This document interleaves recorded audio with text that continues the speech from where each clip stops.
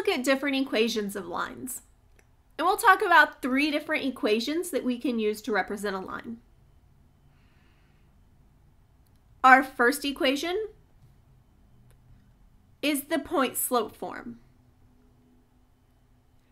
And in point slope form, I need two things. I'll need a point, which we'll call x1, y1.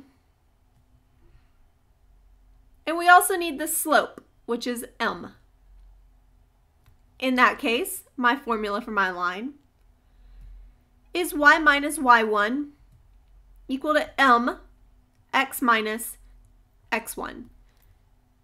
As long as I have a single point and the slope, I will have an equation of a line using this formula. As an example, if we have a line with slope negative 2 and passes through the point 3, 4, well, my formula tells me I have y minus y1, which is 4, is equal to m, which is my slope, times x minus x1, which is 3. So now I have a formula for a line in point slope form. Next, we'll look at a horizontal line containing the point 3, 4. Therefore, I have y minus y1, which is 4, is equal to m, which we don't quite have yet, x minus x1, which is 3. We need to know the slope of a horizontal line. Well, in general, a line does measure the steepness, and a horizontal line is completely flat. Therefore, it's not steep at all. It has zero steepness. And actually, the slope of a horizontal line is, in fact, zero. If we wanted to, we could rewrite this as y minus 4 equal to 0. And if I add 4 to both sides, I get y equal to 4. And this is the general form of a horizontal line. In our video discussing slope, we discussed a, that a vertical line is x equal to a number, while a horizontal line is y equal to a number.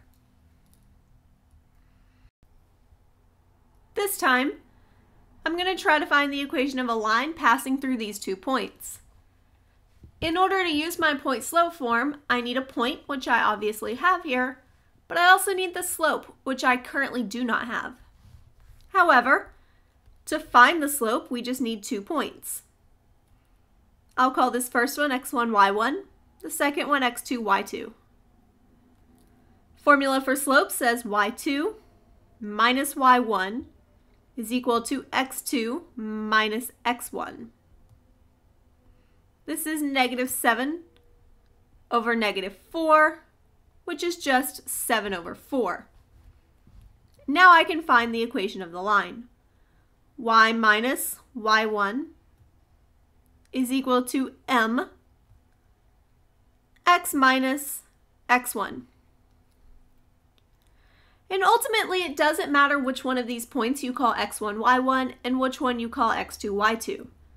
If we were to use the other point, I would have y minus negative 2 equal to 7 over 4 times x minus negative 1. And while these equations look very different, they're actually the same thing, and they represent the exact same line. Next, we'll look at slope-intercept form. This is the second equation for a line that we have. Here we need two things. I need a slope, which we'll call m, and I need the y-intercept, which we will call b. Slope-intercept form is then given by y equal to mx plus b. And this is the general form that we tend to like lines in. When we use our point slope form, we usually take another step to then solve for y. Let's consider this line, 3x minus 6y equal to 12. We want to put this into slope-intercept form. Essentially, I want to start by solving for y. so we'll subtract the 3x over. That leaves me with negative 6y on the left. The right has negative 3x plus 12. We can then divide everything by negative 6. On the left, I'm left with y. On the right, negative 3 divided by negative 6 is 1 half. And 12 divided by negative 6 is negative 2.